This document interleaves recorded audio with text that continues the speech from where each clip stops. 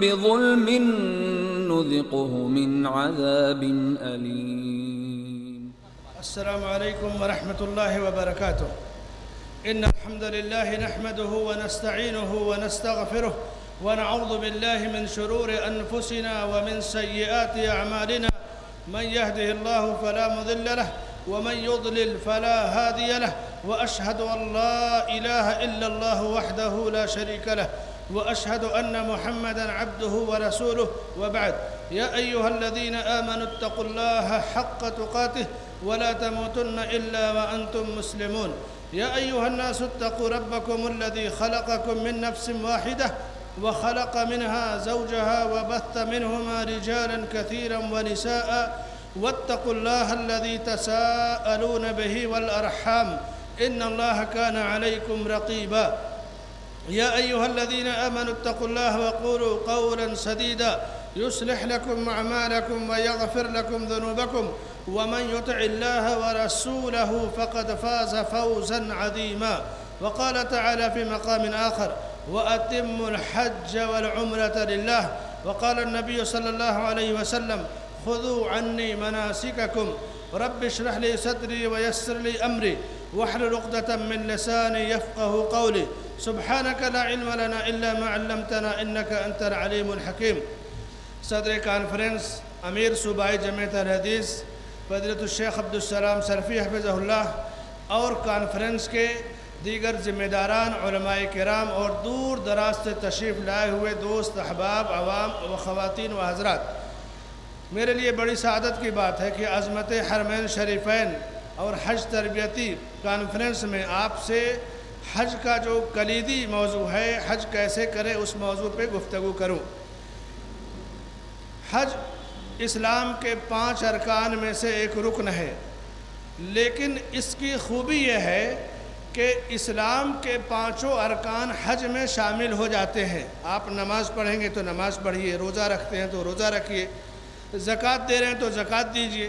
مگر حج میں اللہ نے نماز بھی رکھی ہے، توحید تو ہے ہی، صدقہ و خیرات، انفاق فی سبیل اللہ بھی رکھا ہے، اور روزہ اور سوم کا بھی موقع دیا ہے، اور حج مستقل ایک عبادت ہے۔ تو حج سارے ارکان کا جامع، یہ ایسا فریضہ ہے کہ سارے ارکان کی جامعیت اس کے اندر شامل ہے۔ حج اور عمرہ زندگی میں ایک بار فرض ہے، اور یہ فرضیت سب کے لیے نہیں ہے، صرف اس شخص کے لیے جس پہ اللہ نے استطاعت رکھی ہو، جو مستطیع ہو، من استطاع الیہ سبیلا۔ حج کی فرضیت جس پر ہو جاتی ہے، اس کو یہ بھی جاننا چاہیے کہ حج کرنے میں جلدی کرنا چاہیے۔ حج میں تاخیر نہیں کرنی چاہیے۔ عقل مند ہو، اس پر حج فرض ہے مجنو یا دیوانے پہ حج فرض نہیں ہے۔ اسی طرح بالغ یعنی بچے پر حج فرض نہیں ہے۔ لیکن اگر کسی بچے نے حج کر لیا والدین کے ساتھ، تو اس کا حج درست ہے اور اس کا عجر اس کے والدین کو ملے گا۔ حجت الوداع میں اللہ کے نبی صلی اللہ علیہ وسلم کو سے ایک عورت نے سوال کیا اپنے بچے کو گود میں ایسے اٹھا کر کے، کیا اس پر حج فرض ہے؟ آپ نے کہا ہاں اور تمہیں عجر ملے گا۔ اسی طرح سے مجنو دیوانے پہ حج فرض نہیں ہے، عورت عدت کے اندر نہ ہو، یہ بھی ضروری ہے۔ عدت میں جو عورتیں حج کرتی ہیں وہ گنہگار ہیں۔ عمر رضی اللہ تعالیٰ عنہ مقام بیدا سے ان عورتوں کو واپس لوٹا دیتے جو عدت میں ہوتی تھی۔ عورت بغیر محرم کے حج نہیں کرے گی۔ محرم کا ہونا شرط اور ضروری ہے۔ اگر کسی عورت نے بغیر محرم کے حج کر لیا تو حج کی فرضیت ادا ہو جائے گی، لیکن بغیر محرم کے سفر کی وجہ سے وہ گنہگار ہوگی۔ حج کی فرضیت کے لیے آزاد ہونا ضروری ہے۔ یہ ساری شرطیں ایک مسلمان کے لیے ہیں جو اسلام میں داخل ہو گیا ہے۔ اس پر یہ شرطیں ہیں۔ کافر کے لیے تو اس طرح کی کوئی پابندی ہی نہیں۔ یہ ہے حج کی فرضیت۔ اسی طرح میرے بھائی اور دوستو، حج کی تین صورتیں ہیں۔ میں بلا کسی تمہید یا تفصیل کے حج کے اندر اس لیے داخل ہو رہا ہوں تاکہ گفتگو مکمل ہو جائے اور ہمارے علماء کرام کا جو ہے شیڈول اور وقت کے لحاظ سے سب کی گفتگو آپ سن سکیں۔ حج کی تین صورتیں ہیں، حج تمتو حج قران اور حج افراد۔ حج تمتو حج کی سب سے افضل صورت ہے۔ اللہ کے رسول صلی اللہ علیہ وسلم نے حج قران کیا ہے، لیکن حج تمتو افضل ہے۔ آپ کے ذہن میں یہ سوال آئے گا کہ جب نبی نے قران کیا تو افضل آپ کا عمل ہوگا تمتو کیسے افضل ہوگا؟ اس کا جواب یہ ہے کہ اللہ کے رسول صلی اللہ علیہ وسلم حجت الوداع میں تھے۔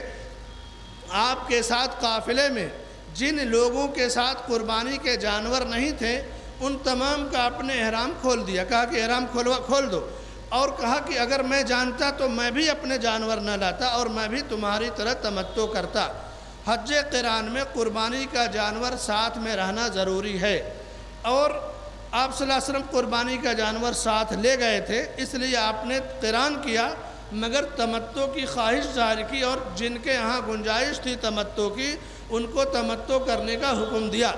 نبی کا قول اور عمل، جب یہ دونوں چیزیں یکجا ہو جائیں، تو آپ کے قول اور فرمان کو افضلیت حاصل ہوگی، آپ کا عمل جو ہے افضلیت نہیں پائے گا۔ آپ کا عمل آپ کے لیے ہے، بہتر ہے، سب خوبیاں ہیں، لیکن ہمارے لیے قول اور فرمان افضلیت ہے۔ مثلا، عاشورہ میں دس محرم کو ہم لوگ دو دن روزہ رکھتے ہیں، نو اور دس۔ اللہ کے رسول صلی اللہ علیہ وسلم نے ایک دن روزہ رکھا صرف دسویں محرم کو۔ لیکن آپ نے یہ بھی کہا کہ اگر میں آئندہ باقی رہا، زندہ رہا، تو نویں کو بھی روزہ رکھوں گا۔ تو نو دس روزہ رکھنا یہ آپ کی خواہش اور آپ کی یہاں سے افضلیت کی سرٹیفکیٹ ہے۔ اور دس کو روزہ رکھنا یہ آپ کی استراری اور ضرورت ہے کیونکہ آپ اس کے بعد زندگی آپ کو نہ مل سکی۔ تو اس طرح بہت ساری مثالیں آپ کو ملیں گی۔ تمتو اور قرآن میں یہی چیز ہے کہ تمتو افضل ہے۔ قرآن میں قربانی کا جانور ساتھ میں ہونا ضروری ہے۔ جو لوگ بینک کا کوپن لے لیتے ہیں کہ میرا جانور ساتھ میں میں قربانی کروں گا، یہ درست نہیں ہے۔ بینک کا کوپن، یہ دلیل ہے کہ آپ نے پیسہ بینک کو دے دیا ہے، جانور نہیں ہے۔ آج بھی عرب کے اندر جو لوگ حج قران کرتے ہیں، وہ اپنی گاڑی میں یا کسی بھی انتظام کے ذریعے اپنی قربانی کا جانور ساتھ لے جاتے ہیں۔ نبی کی یہ سنت زندہ ہے۔ حج افراد، یہ اہل مکہ کے لیے افضل ہے۔ ذالک لمن لم یکن اہلہ حاضر المسجد الحرام۔ میں آپ کے سامنے حج تمتو کی کیفیت پہلے بیان کرتا ہوں، کیونکہ ہندوستان، پاکستان سے جانے والے حجاج، ہم اور آپ بڑی تعداد، تقریباً سب لوگ حج تمتو کرتے ہیں۔ حج تمتو میں عمرہ مستقل ہے اور پھر آٹھ کو حاجی حج کا احرام باندھتا ہے۔ حج تمتو کی صورت یہ ہے کہ جس دن بھی پہلے سے تو آپ کی نیت ہوتی ہے حج یا عمرے کی، لیکن جب آپ کی روانگی ہو، مثلا بمبئی ایئرپورٹ پر پہنچیں تو ایئرپورٹ پر ہی لوگ احرام باندھ لیتے یعنی احرام کا لباس پہن لیتے ہیں۔ ایسا نہیں ہے کہ ایئرپورٹ پر احرام کا لباس پہن لینے سے آپ حج میں شامل ہو گئے۔ یہ اس سہولت سے فائدہ اٹھانا ہے۔ چونکہ پہلے زمینی سطح پہ جب میقات ہوتی تو وہاں گھنٹہ، دو گھنٹہ، چار گھنٹہ رک جاتے تھے۔ اب جہاز جب میقات کی حدود سے گزرتا ہے تو دس پندرہ منٹ پہلے اعلان ہو جائے گا کہ اب تھوڑی دیر میں آپ میقات سے گزرنے والے ہیں۔ اتنی دیر میں احرام باندھنا سب کے لیے ذرا مشکل کام ہے۔ اور اس میں بھی اگر موسم خراب ہو گیا تو پھر جہاز اوپر نیچے دھر دھر دھر کرے گا اور یہ ہوا کہ سیٹ بیلٹ باندھ لیجیے اور پریشانی ہو سکتی ہے سفر کے درمیان۔ تو اس طرح سے یہ صورتحال رہے گی۔ تو اس سہولت کی خاطر بمبئی ایئرپورٹ پر حاجی احرام کو احرام کا لباس پہن لیتا ہے۔ احرام کا لباس پہن لینے سے آپ محرم نہیں ہو گئے۔ اس وقت تک آپ محرم نہیں ہوں گے جب تک میقات کی حدود میں گزریں اور لبیک عمرتن نہ کہیں یہ سہولت کے لیے احرام کا لباس پہن لیا۔ احرام کی الگ سے کوئی نماز نہیں ہوتی۔ ایئرپورٹ پر ہمارے حاجی جو ہے احرام کا لباس پہننے کے بعد نماز پڑھنا شروع کر دیتے ہیں۔ اگر آپ یہ احرام کسی مسجد میں باندھتے ہیں تو تحت المسجد پڑھ لیجیے۔ تحت الوضو پڑھنا چاہیں تو تحت الوضو کی گنجائش ہے، لیکن تحیت الاحرام کے نام سے کوئی نماز نہیں ہے۔ اس لیے آپ صرف احرام کا لباس پہن لیں۔ بمبئی ایئرپورٹ پر احرام بات کر کے ہمارے حاجیوں سے جو دوسری بڑی غلطی ہوتی ہے وہ یہ ہے مثلا یہ دیکھیے یہ بھی چلے گا۔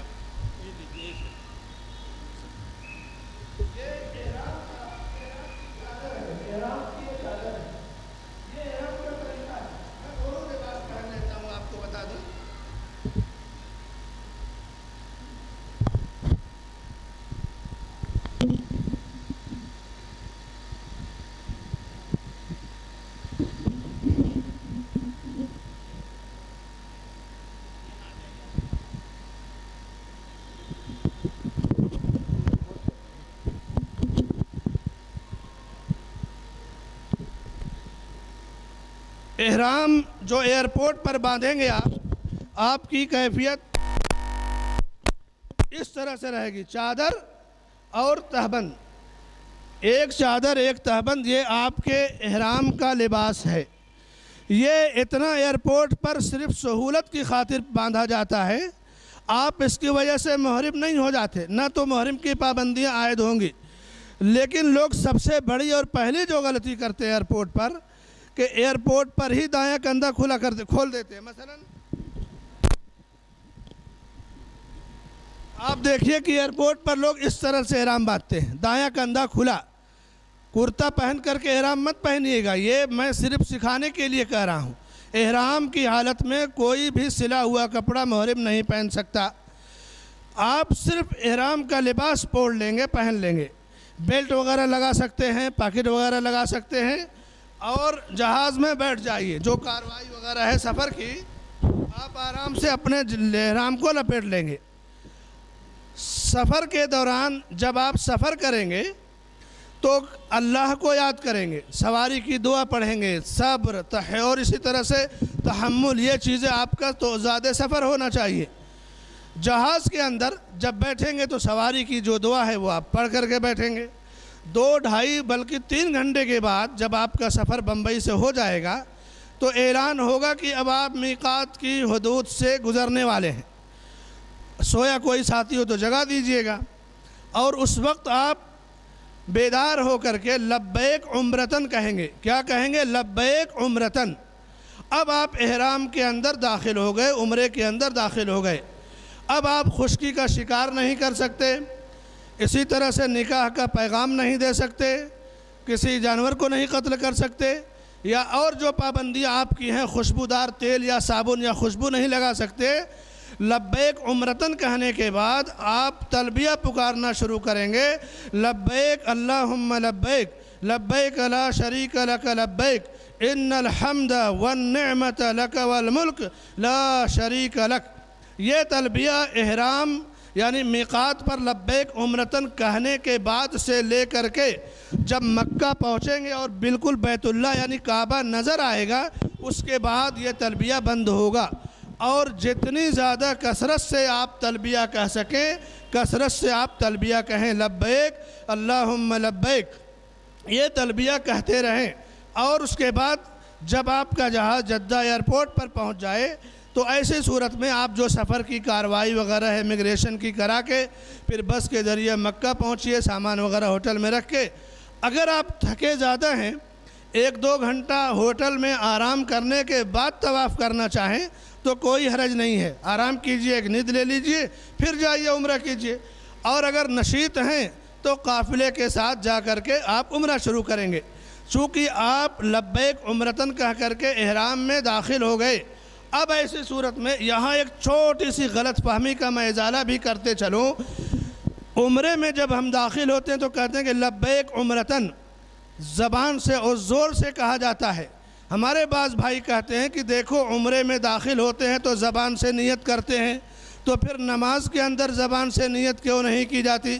اس کا جواب یہ ہے کہ نیت دل کے ارادے کا نام ہے۔ نماز ہو یا عمرہ یا کوئی عبادت ہم زبان سے نیت نہیں کرتے۔ جس طرح گھر سے نکلتے وقت نماز کی نیت ہوتی ہے، جب نیت باندھتے ہیں اللہ اکبر، تو ہم نماز میں داخل ہو گئے۔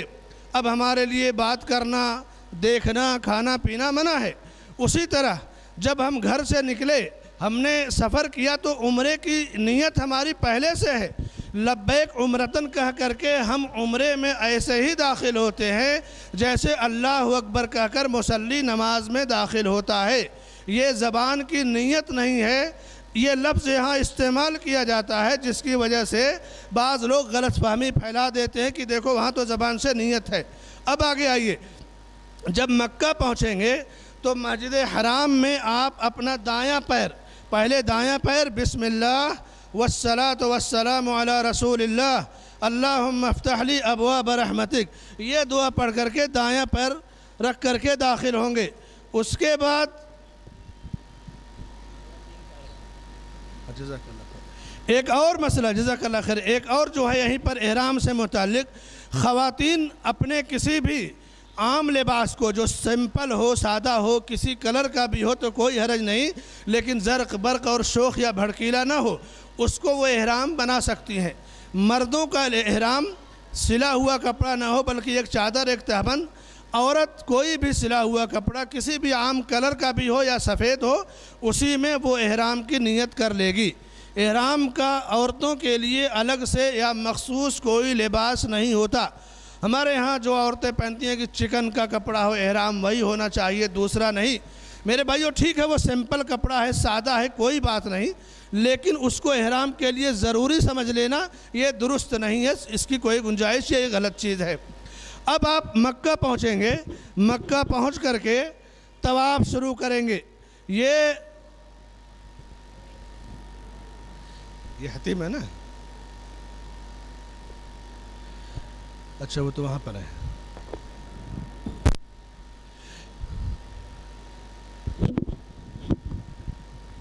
یہ حجر اسود ہے۔ یہ حجر اسود ہے، کعبہ کے چار کونے ہیں۔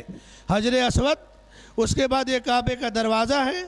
یہاں پر آئیں گے تو پھر وہ رکن عراقی اور اس کے، یہ اس کے بعد حجر اسود، رکن عراقی، رکن شامی، رکن یمانی۔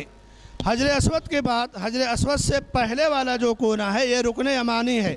یمن کا محل وقوع اسی کونے سے اسی طرح پڑتا ہے، اس لیے اس کا نام رکن یمانی ہے۔ شام کا محل وقوع اس کونے سے ہے، اس لیے اس کو رکن شامی کہتے ہیں۔ عراق کا محل وقوع اس کونے کے سامنے ہے، اس لیے اس کو رکن عراقی کہتے ہیں۔ بہت آسان ہے ان کونوں کو یاد کرنا، شام، عراق، یمن اور حجر اسود۔ حجر اسود سے آپ کعبے کا طواف شروع کریں گے۔ حجر اسود کو بوسہ دیں گے۔ اگر بوسہ نہیں دے سکتے تو ہاتھ سے حجر اسود کو چھوئیں گے اور چوم لیں گے اور پھر طواف شروع کریں گے۔ اگر ہاتھ سے، اگر آپ کا ہاتھ بھیڑ کی وجہ سے نہیں پہنچ سکتا، مثلا بہت رش ہے تو دور سے آپ اللہ اکبر کہیں گے، بوسہ دیں گے یا ہاتھ سے چھوئیں گے یا ہاتھ کا اشارہ کریں گے تو طواف کے وقت اللہ اکبر کہیں گے۔ اور جب ہاتھ کا اشارہ کریں گے اللہ اکبر، تو پھر ہاتھ کو چومنے کی ضرورت نہیں ہے۔ پھر آپ طواف شروع کر دیں گے۔ حجر اسود سے حجر اسود تک پھر آئیں گے تو آپ کا طواف ایک چکر ہو گیا۔ طواف کعبہ کے شروع کے ساتوں چکر میں آپ کو استباع کرنا ہے۔ یہ دایاں کندھا پورے حج میں صرف طواف قدوم کے ساتوں چکر میں کھلا رہے گا۔ نہ تو اس کے پہلے، نہ تو اس کے بعد۔ بہت سارے لوگ بمبئی سے ہی کندھا کھلا رکھیں گے۔ کچھ لوگ عرفات اور مینا مزدلفہ میں بھی کھلا ہوا کندھا لے کے گھومتے ہیں۔ جو چیز درست نہیں ہے، غلط ہے، سنت سے ثابت نہیں ہے۔ طواف قدوم کے ساتوں چکر میں آپ اجتباع کریں گے یعنی دایاں کندھا آپ کا کھلا رہے گا۔ اور اس کے بعد اس پر بھی اگر بیچ میں نماز کھڑی ہو گئی، فرض نماز کی جماعت کھڑی ہو گئی، تو امام کے ساتھ آپ نماز میں شامل ہوں گے۔ اور اپنے دائیں کندھے کو ڈھانک لیں گے۔ آپ چونکہ اب نماز میں شامل ہو رہے ہیں، دائیں کندھے کو ڈھانک لیں گے۔ جیسے ہی نماز ختم ہوئی، آپ نے طواف شروع کر دیا، تو پھر اس ساتوں چکر میں آپ استباع کریں گے اور آپ کا دائیں کندھا کھل جائے گا۔ تو طواف قدوم کے ساتوں چکر میں استباع ہے۔ تین چکر میں رمل ہے۔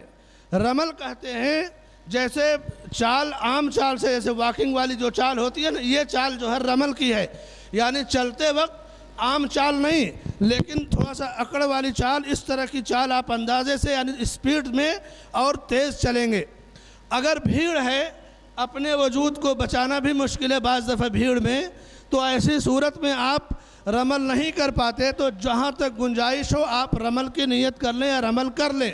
فَاتَّقُوا اللَّهَ مَسْتَطَعْتُمْ جتنی طاقت رکھتے ہو، اللہ سے اتنا ہی ڈرو۔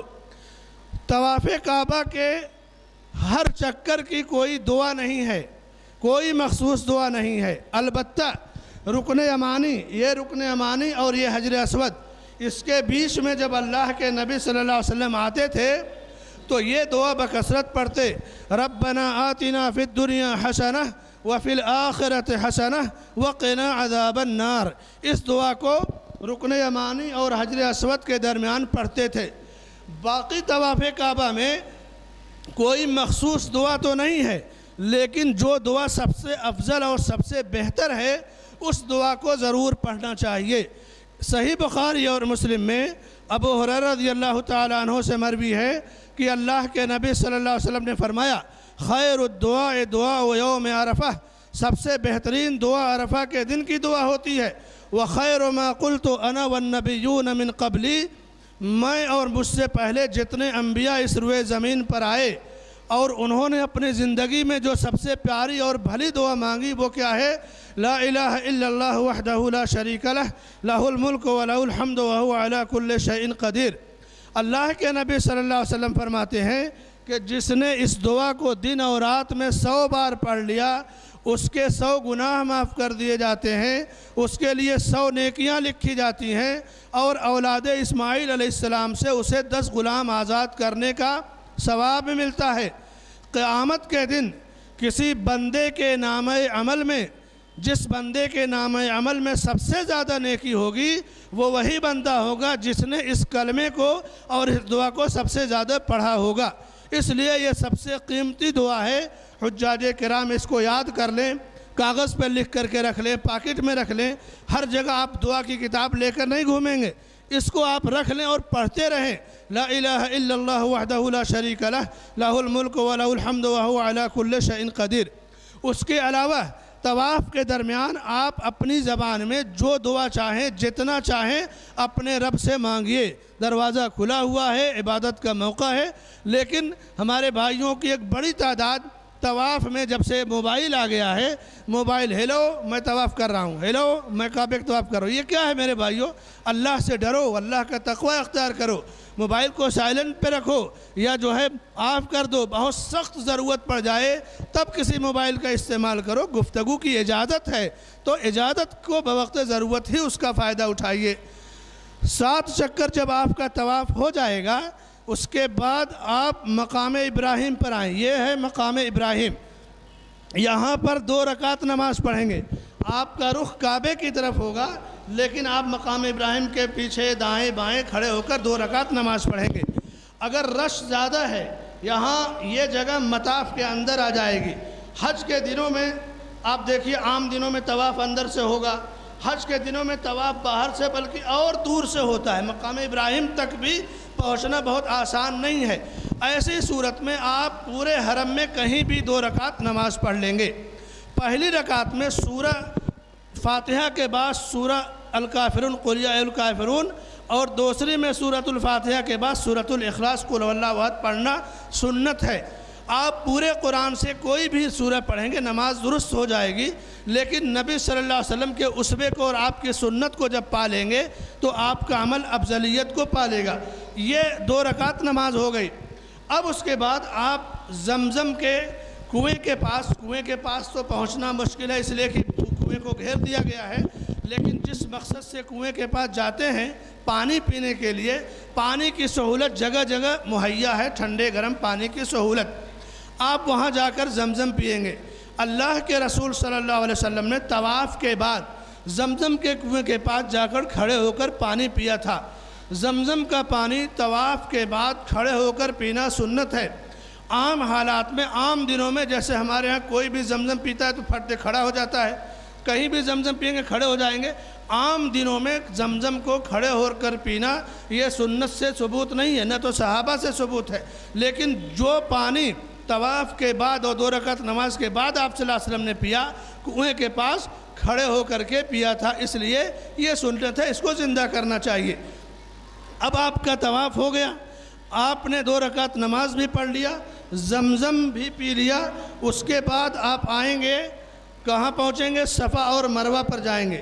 یہ حجر اسود ہے، حجر اسود ہی کے سامنے، یہاں پر صفا اور مروہ ہے۔ کسی اور کونے کے پاس نہیں، حجر اسود جہاں سے طواف آپ کا شروع اور ختم ہوگا، وہیں سے سامنے گیٹ ہے۔ الصفا خوب لکھا ہے بیدایت السے سے کی ابتدا یہاں سے ہوگی۔ صفا پہاڑی پر جائیں گے۔ صفا پہاڑی پر پہنچ کر کے قبلے کی طرف یہ آپ کا قبلہ ہے۔ حرم، یہ کعبہ چاروں طرف سے قبلہ ہے آپ کا۔ آپ قبلے کی طرف ہاتھ اٹھا کر دعا کریں گے۔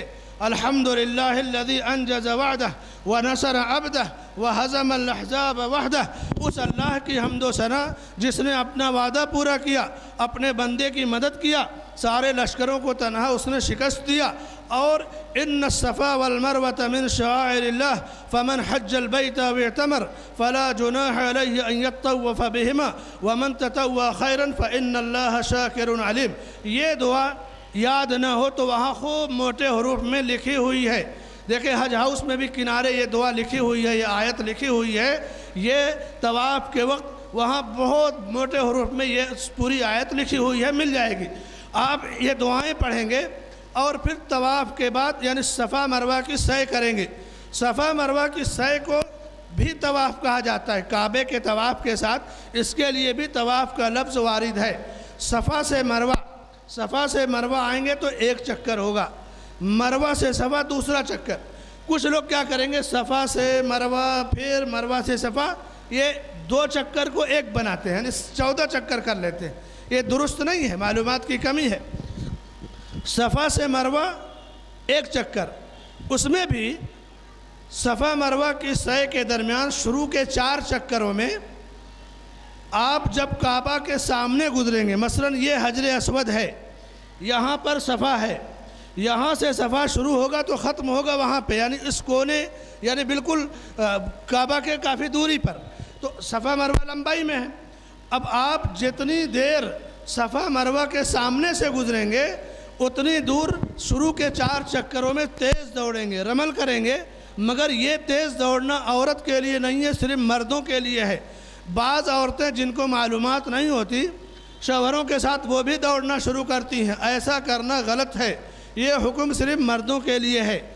صفا سے مروہ ایک چکر جب ہو جائے گا، تو پھر آپ کعبے کے پاس کونے کھڑے ہو کر کے کعبے کی طرف ہاتھ اٹھا کر کے دعا کریں گے۔ اور پھر دعا کرنے کے بعد پھر آپ صفا آئیں گے۔ صفا پہ پہنچیں گے، پھر تیسرا چکر شروع کرنے کے بعد پھر کعبے کی طرف ہاتھ اٹھا کر کے دعا کریں گے۔ آپ اگر بھیڑ میں جگہ نہ مل سکے تو کنارے ہٹ جائیے اور ان دنوں میں تو کنارے بھی جگہ نہیں ملے گی، دھکم دھکا والی بات رہے گی۔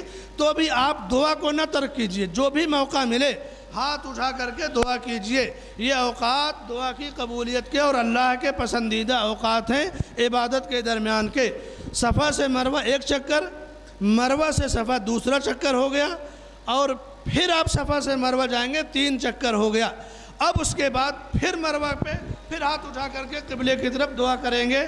پھر مروہ سے صفا چوتھا چکر ہوگا۔ پھر صفا سے مروہ یہ پانچواں چکر۔ پھر مروہ سے صفا یہ چھٹا چکر۔ صفا سے مروہ پھر یہ آخری چکر ہوگا۔ آخری چکر میں، آخری سائے میں پھر اس کے بعد دعا نہیں کریں گے۔ اب آپ کی عبادت ختم ہو گئی۔ اب آپ حرم سے باہر نکلے۔ اگر نماز کا وقت ہے، کچھ ٹائم کم باقی ہے، انتظار کر کے نماز پڑھ کے نکلیے، کوئی حرج نہیں، گنجائش ہے۔ لیکن اگر آپ باہر نکلنا چاہیں تو باہر جائیے اور سیلون پہ اپنے بال کو قصر کرا لیجیے۔ ضرور نہیں کہ وہاں جو سیلون بنے وہیں بال قصر کرائیے، واپس آئیے، اپنے ہوٹل کے پاس کوئی سیلون ہے، اس میں بال کٹوا لیجیے۔ آپ چونکہ حج تمتو کا عمرہ کر رہے ہیں، اس لیے آپ اپنے بال کو قینچی یا مشین سے چھوٹا کرائیں گے، ٹکلا نہیں کرائیں گے، حلق نہیں کرائیں گے اور احرام کھول دیں گے۔ اب آپ کا عمرہ ہو گیا، تمتو کا عمرہ ہو گیا، اب آپ اپنا احرام مکمل طور سے کھول دیں گے اور عام لباس میں ملبوس ہو جائیں گے۔ اب جو چند دن آپ کے حج میں بچے ہیں، اس میں آپ زیادہ سے زیادہ کعبہ کا طواف کریں گے، عبادت کریں گے، ذکر کریں گے۔ اپنے وقت کا صحیح استعمال کریں گے۔ یہ آپ کا عمرہ ہو گیا تمتو کا عمرہ۔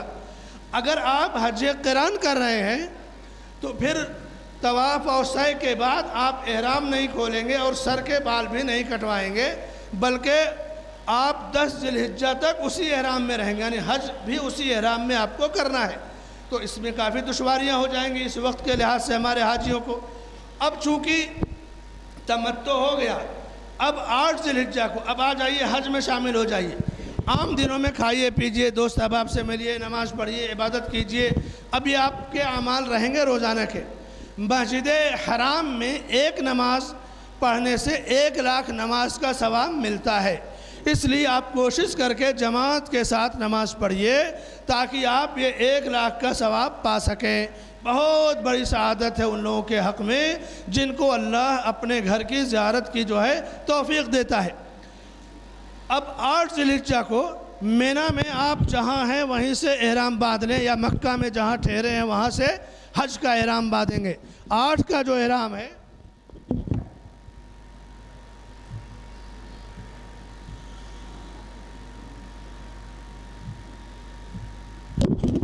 آٹھ کا احرام ایسے ہی باندھیں گے جیسے آپ نے پہلے باندھا تھا۔ کندھا اب آپ کا ہمیشہ ڈھکا رہے گا۔ استباع صرف طواف قدوم میں ہے۔ اب ہمیشہ آپ کا کندھا ڈھکا رہے گا۔ یہاں سے جو حاجی جاتے ہیں ہندوستان سے ہمارے، ان کو سات ذلحجہ کو رات میں دس بجے، گیارہ بجے ان کا معلم بس میں بیٹھائے گا اور مینا لے آ کے چھوڑ دیتا ہے۔ کیوں؟ تاکہ صبح میں رش کی وجہ سے کوئی پیچھے نہ رہ جائے یا پریشانی نہ ہو۔ کوئی حرج نہیں۔ آپ معلم سے الجھیے بھی نہیں، یہ نہ کہیں کہ کل ٹائم ہوگا، کل جاؤں گا، ایک سسٹم بنا ہے، اسی پر آپ قائم رہیے۔ آپ مینا چلے جائیے، چاہے تو احرام پہن کر جائیے، چاہے تو اپنے سول ڈریس میں جائیے۔ لیکن ظہر کے بعد آپ وہاں پر احرام پہن لیں گے۔ اگر نہیں پہنے ہیں تو اب پہنے ہیں۔ تو ظہر کے بعد لبیک حجن، حج میں آپ داخل ہو گئے۔ لبیک حجن کہہ کر کے اب آپ تلبیہ پکارنا شروع کریں گے۔ لبیک اللہم لبیک لبیک لا شریک لک لبیک، ان الحمد والنعمت لک والملک لا شریک لک۔ یہ تلبیہ اب آپ دس ذلحجہ کو کنکری جمرات کو، بڑے جمرے کو کنکری مارنے تک مستقل آپ تلبیہ پکاریں گے۔ مینا میں قیام کے درمیان آپ چار رکعت کی نماز قصر کر کے اس کے وقت پر پڑھیں گے۔ چار رکعت کی نماز قصر کر کے اس کے وقت پر پڑھیں گے۔ جمع نہیں ہے، قصر ہے۔ ظہر کی دو رکعت، عصر دو رکعت، مغرب تین رکعت عشاء دو رکعت اور ایک یا تین رکعت وطر اور فجر سے پہلے کی دو رکعت سنت اور دو رکعت فرض۔ اللہ کے رسول صلی اللہ علیہ وسلم نے وطر اور فجر کے پہلے کی دو رکعتوں کو سفر ہو یا حضر کبھی ترک نہیں کیا ہے۔ بلکہ ایک حدیث میں بڑی سراحت سے فرمایا کہ رکعت الفجر خیر من الدنیا وما فیہا۔ فجر کے پہلے کی جو دو رکعت سنت ہوتی ہے، یہ دنیا اور دنیا میں جو کچھ ہے، ان تمام سے بہتر ہے۔ تو ظہر اثر مغرب، عشاء اور فجر، یہ مینا میں آپ پڑھیں گے۔ اگر سات ذلحجہ کو رات میں لے آ کے چھوڑ دیا تو فجر بھی آپ کی مینا میں ہوگی۔ اب اس کے بعد نو ذلحجہ کو صبح، دن نکلنے کے بعد، ناشتہ وغیرہ کرنے کے بعد آپ عرفہ کی طرف روانہ ہوں گے۔ عرفہ میں وقوف کا وقت ظہر کے بعد سے ہے، تو کوئی ناشتہ کر کے جاتا ہے، کوئی فجر بعد جاتا ہے۔ لیکن ہمارے ہندوستان یا پاکستان یا ایشیا کے جو حاجی ہیں، ان کو، ان کا معلم آٹھ ذلحجہ کو رات کو ایک بجے یا دو بجے، تین بجے ہی بس میں بیٹھا کے عرفات میں ان کے خیمے میں لے جا کے چھوڑ دیتا ہے۔ کوئی حرج نہیں، آپ اس گاڑی میں بیٹھیے، کیونکہ آپ تنہا اپنے خیمے تک شاید نہ پہنچ پائیں۔ آپ رات کو ہی چلے جائیے۔ اپنے خیمے میں آرام کیجیے لیکن عرفات میں قیام اور وقوف اور دعا کا جو وقت ہے، وہ ظہر کے بعد ہے۔ عرفات میں نو ذلحجہ کو ظہر دو رکعت اور اس کے بعد فوراً عصر دو رکعت جمع اور قصر دونوں ہے۔ امام کا خطبہ سنیں گے، نماز پڑھیں گے اور پھر فارغ ہو جائیں گے۔ مغرب تک عرفات میں آپ کو صرف دعا کرنا ہے۔ اللہ سے خوب مانگیے اور خوب دعائیں کیجیے۔ اور اس دن بھی یہی دعا۔ لا الہ الا اللہ وحدہ لا شریک لہ۔ لہ الملک و لہ الحمد وہو علی کل شئین قدیر۔ اس دن کی بھی سب سے بہترین یہی دعا ہے۔ دن ڈوبنے تک آپ عرفات میں وقوف کریں گے۔ ایک اور مسئلہ جان لیں کہ عرفات میں ٹھہرنا یہ حج کا رکن ہے۔ اگر کسی کا عرفات چھوٹ گیا تو حج باطل ہے، نہیں ہوگا۔ اور مغرب تک، دن ڈوبنے تک عرفہ میں ٹھہرنا یہ واجب ہے۔ اگر کوئی سورج ڈوبنے سے پہلے ہی عرفات سے نکل گیا تو اس نے ایک واجب ترک کیا اور اس کو دم دینا پڑے گا۔ اس لیے سورج ڈوبنے کے بعد ہی آپ عرفات سے نکلیے۔ عرفات سے نکل کر کے آپ مزدلفہ آئیں گے۔ مزدلفہ میں آپ پہلے مغرب تین رکعت اور عشاء دو رکعت اور وطر۔ اگر اسی وقت سونا ہے تو نہیں تو تھوڑا سا رک کر کے پڑھیں گے۔ مغرب اور عشاء پڑھ کر کے آرام کریں، عبادت کیجیے، رب کو یاد کیجیے مزدلفہ کے اندر۔ فجر پڑھ لیجیے۔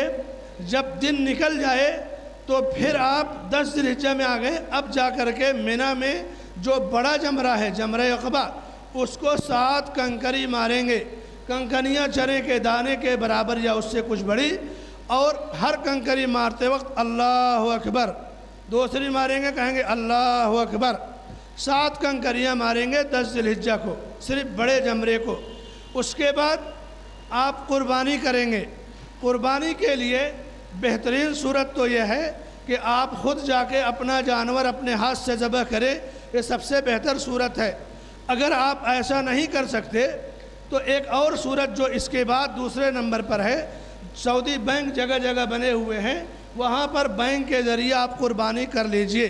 یہ سب سے زیادہ پرامن اور معمون ہے۔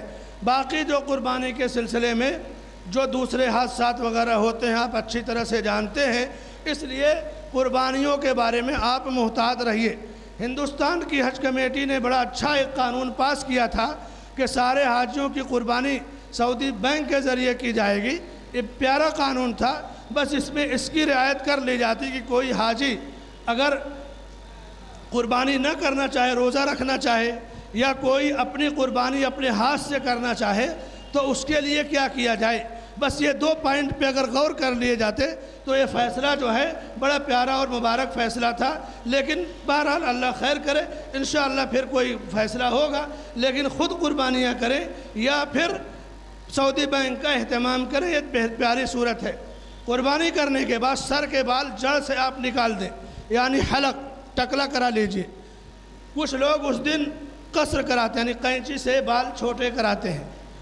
حلق اور قصر میں فرق کیا ہے؟ اللہ کے نبی صلی اللہ علیہ وسلم نے فرمایا، اللہم اغفر للمحلقین، اللہم اغفر للمحلقین، اللہم اغفر للمحلقین۔ جن لوگوں نے سر کے بال ٹکلا کرائے، ان کے لیے تین بار مغفرت کی دعا فرمائی۔ اور جنہوں نے قصر کرایا یعنی قینچی یا مشین سے چھوٹے کرائے، ان کے لیے ایک بار دعائیں مغفرت فرمائی۔ اس لیے حلق افضل ہے۔ آپ کنکری مار چکے، قربانی ہو گئی، حلق ہو گیا۔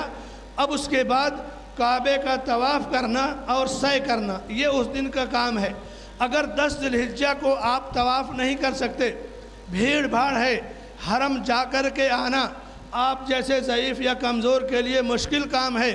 تو آپ گیارہ تاریخ کو جا کر کے طواف کر لیجیے، بارہ کو کر لیجیے، بارہ کو بھی نہیں کر سکتے تو تیرہ کو جب منہ سے نکلے تو پھر پہلا کام طواف افاظہ کر لیجیے۔ اس کو طواف افاظہ اور اسی کو طواف حج بھی کہا جاتا ہے۔ جو حج کا رکن ہے، یہ طواف چھوٹ گیا تو حج باطل ہے۔ اب اس طرح سے آپ کا حج مکمل ہو جائے گا طواف کرنے کے، طواف اور سے کے بعد۔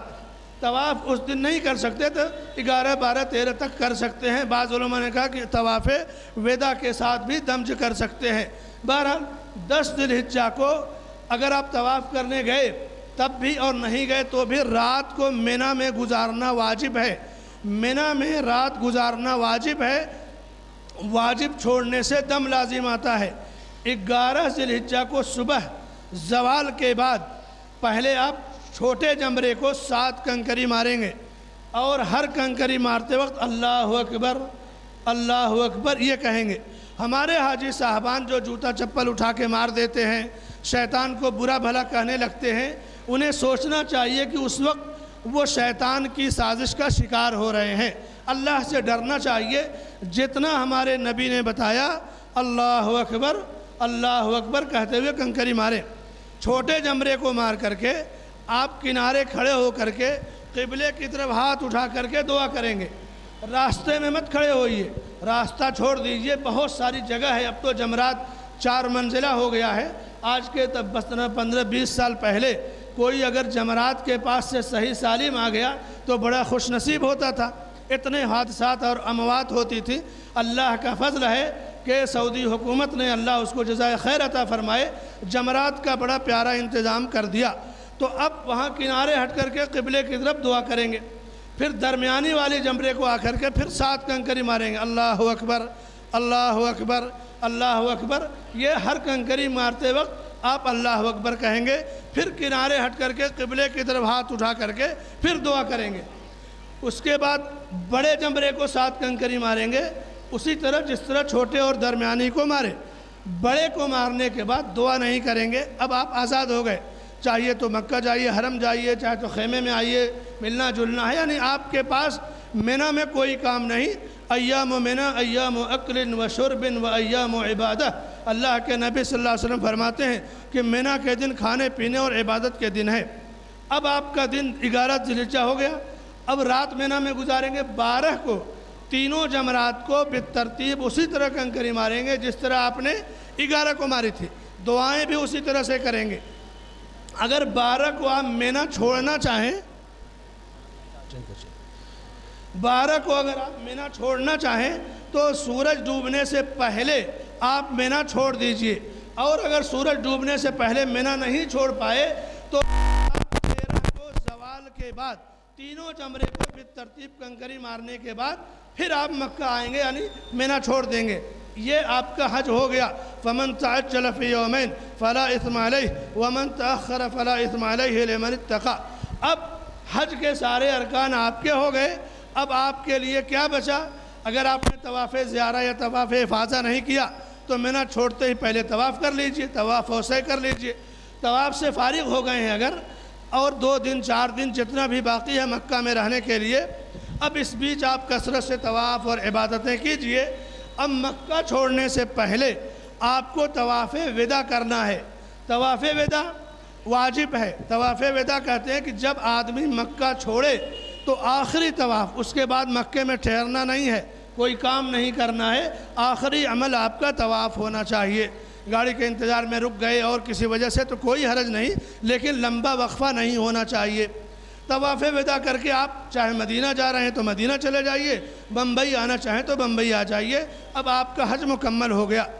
حج میں جو چیزیں رکن ہیں، مثلا طواف کرنا، احرام باندھنا، طواف کرنا، صفا مروہ کی سعی کرنا، عرفہ میں ٹھہرنا اور طواف افاظہ، طواف حج، یہ پانچ ارکان ہیں۔ ان میں سے کوئی بھی چھوٹ گیا تو حج باطل ہو جائے گا۔ اور اگر واجب چھوٹ گیا تو حج تو ہوگا لیکن دم لازم آئے گا۔ دم کس کو کہتے ہیں؟ قربانی کا ایک جانور خریدیں گے اور اس کو وہیں پر مینا میں ذبح کر کے مکہ کے فقراء میں تقسیم کریں گے۔ مینا میں نہ ذبح کر سکے، مکہ میں، حدود حرم میں کہیں بھی آپ جانور لے کر کے خرید کر کے اس کا گوشت حرم کے فقیروں میں تقسیم کریں گے۔ میقات سے احرام باندھنا واجب ہے اور احرام باندھنا یہ حج کا رکن ہے۔ مثلا کوئی بمبئی میں احرام نہیں باندھ پایا میقات سے بھی گزر گیا، جدہ ایئرپورٹ پر پہنچ گیا اور احرام وہاں پہن رہا ہے۔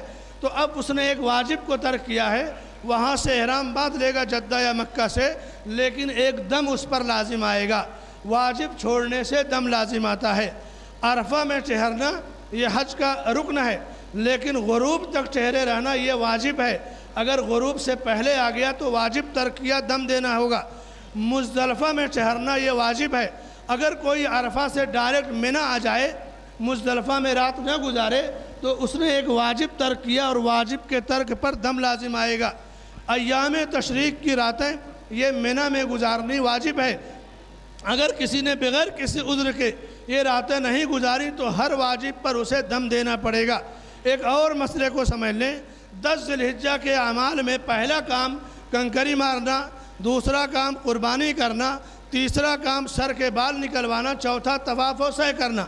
اگر ان کاموں میں ترتیب الٹ جائے، کسی وجہ سے آپ پہلے قربانی کر لیں، بال جو ہے اور کنکری بعد میں مارے، یا پہلے بال کٹ گیا، قربانی بعد میں ہوئی یعنی چاروں کی ترتیب الٹ گئی، تو اس میں کوئی حرج نہیں ہے۔ اللہ کے رسول صلی اللہ علیہ وسلم کے زمانے میں صحابہ کرام کی ترتیب الٹ گئی تھی اور اپنے اپنے سوالات رکھتے تو کہتے، ارم ولا حرج ازبح ولا حرج، احلق ولا حرج، تو اس طرح سے ترتیب الٹنے پر دم نہیں ہے، یہ وہ سوال ہے جو صحابہ نے اللہ کے نبی صلی اللہ علیہ وسلم سے کیا تھا اور نبی نے امت کو بڑی آسانی فراہم کی اس جواب کے ذریعہ۔ تو یہ حج کا میرے بھائیوں اور دوستوں اختصار کے ساتھ ایک سرسری تذکرہ ہوا۔ میں اللہ کی ذات سے امید کرتا ہوں اور دعا کرتا ہوں کہ اللہ تعالی ہم میں سے ان میں، ان حجاج کرام اور ان سامعین میں سے جن بھائیوں نے حج کا ارادہ کیا ہے، ان کے حج کے سفر کو آسان فرما۔